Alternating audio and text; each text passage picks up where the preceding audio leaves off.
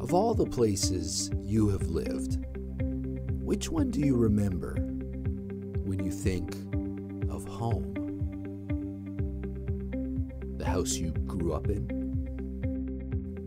The one you bought to raise your family? Your first apartment?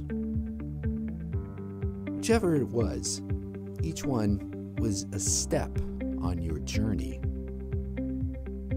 For Ooana and Jamie, this house at 24 Balmoral Place represented a big step, the first home they ever owned.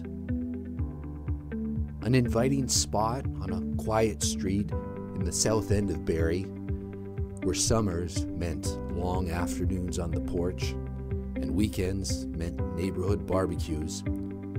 The three bedroom home was more than just a place to eat and sleep. It served as a welcoming backdrop for those special moments that a family enjoys as they raised their two daughters and watched them take their own first steps.